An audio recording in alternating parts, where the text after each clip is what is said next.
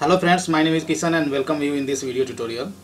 In previous video tutorial, I have shown you how to post messages on the JMS queue, right? So basically we had uh, posted uh, three messages, right? So when you post messages on the queue, then uh, and we'll when we you try to read from the queue, then uh, this works like a first in, first out so this is our first message which, which we had posted right? And uh, and uh, this is our second message right? And finally we had a third message when we had uh, typed quit. So when we have typed quit then we have uh, quitted from the main method and that's why the, this is a quit. So these are the three messages uh, I have right now on the message queue. So these messages uh, I want to read from the client program. And you can see the different uh, options you have. If you want to export some messages then you can, you can export manually over here. If you want to Im uh, uh sorry if you want to export these messages then you can export this message you have a checkbox you select all messages and you can export. If you want to import then you can of course import. You have a move if you want to delete some messages etc you have over here right so now these messages I want to uh, read from the client program. Once you read these messages then these messages will be deleted from your uh, uh, queue right? So here I have written a client program um, message JMS queue message receiver. So I'm going to run this message and will read all these messages from the queue and after that I will try to explain you about this project about this client program. So let me run this message which is this class is having a main method which will uh, try to connect to the queue and that will read all messages available in the queue.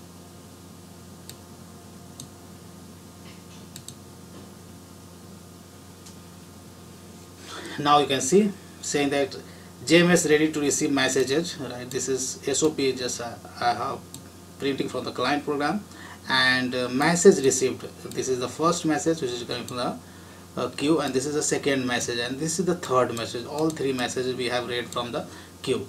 And if you go to the queue and uh, uh if you go to the option it's called uh, this here and uh, or you can see you can go to the again administrator console go to the JMS module and you can again navigate to the queue.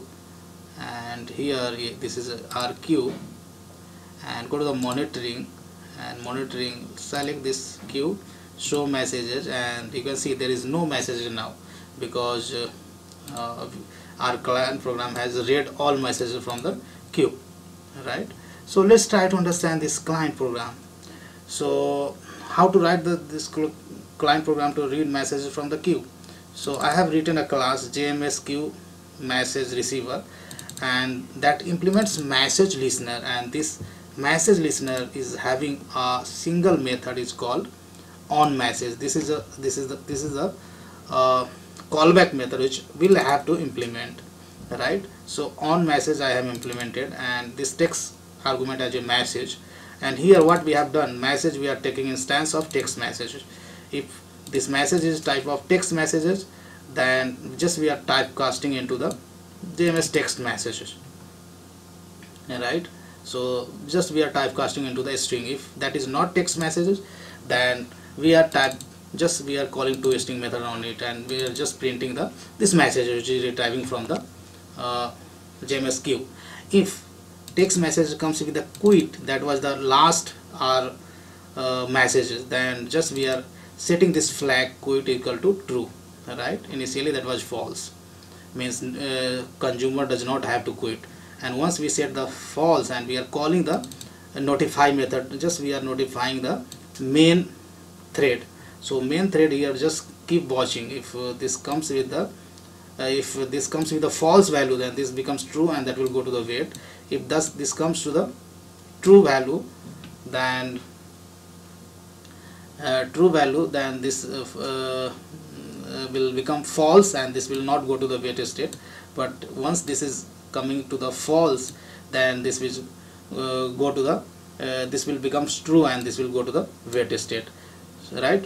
So that's the agenda that's the main use case of this uh, quit flag.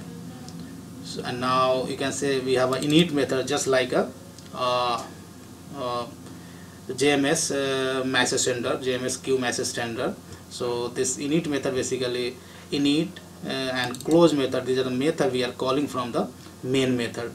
So init method is to initialize the resources. So first of all in JMS util I have created all required resources like queue connection factory queue connection and queue connection we have started right? And finally we have created a queue session and this queue session is going to return to the caller so this is a pretty straightforward method.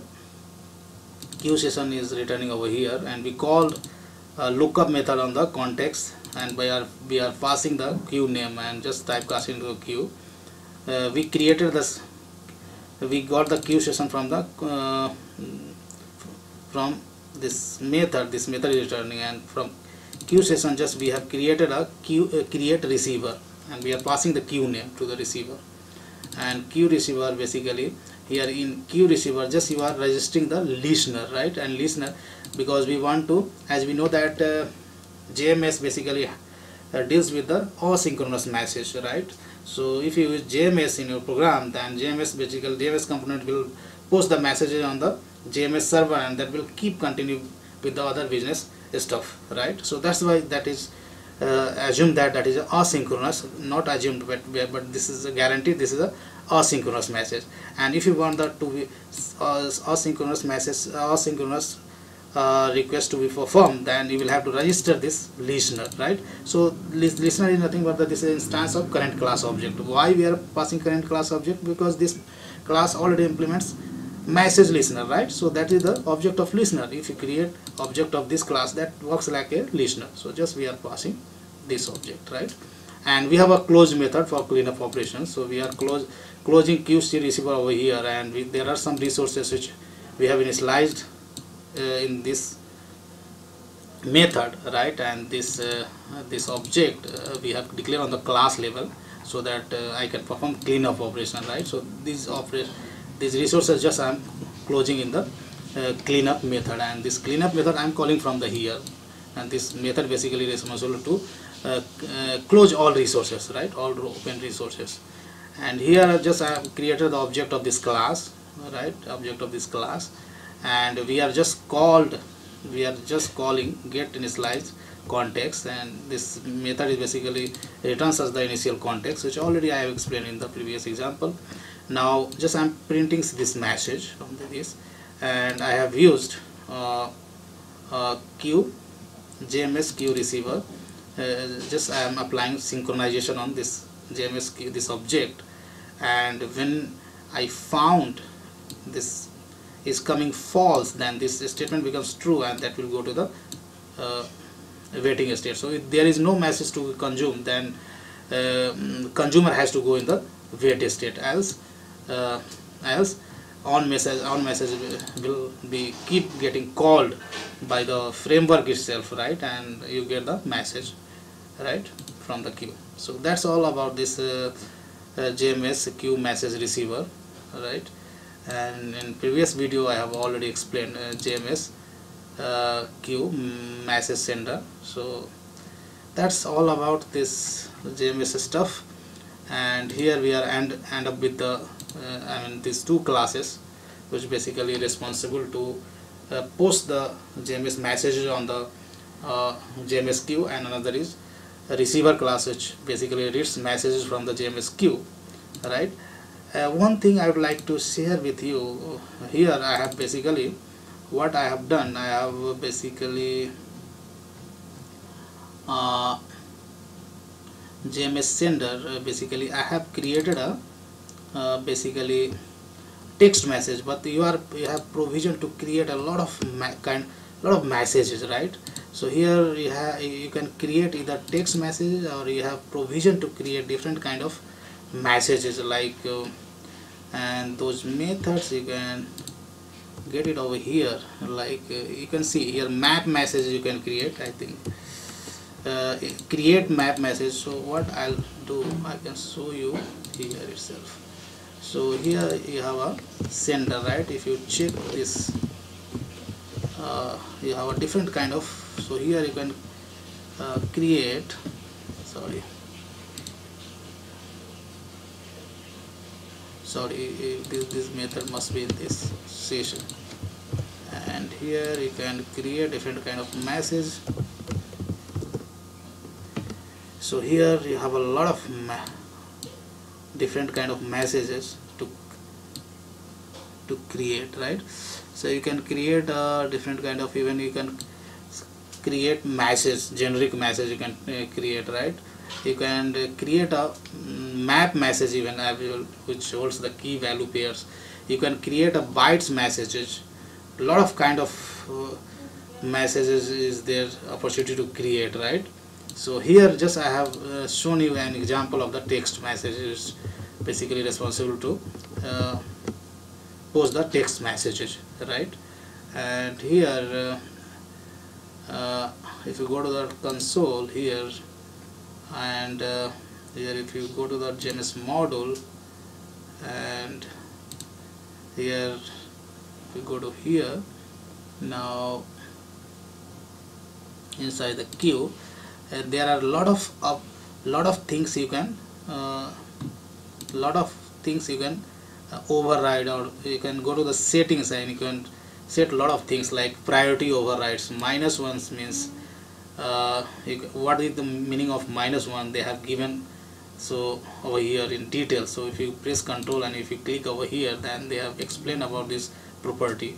So as per your business logic you will have to set this uh, property right? And if you look into the some other stuffs like there are lot, lot many things you can uh, set it over here right? You can you have opportunity to set a lot of attributes. And here you can see so there is maximum message size.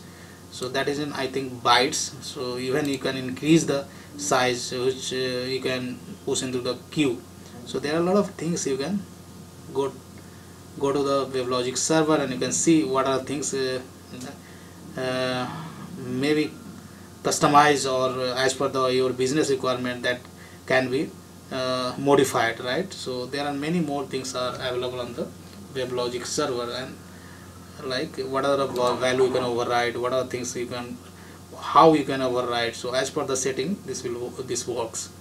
So that's all I have in this video tutorial. So I hope you understood uh, this JMS concept and uh, this code I'm going to put on the github. And github location I will specify in the video description itself. Uh, so I hope you enjoyed this video and thanks for watching this video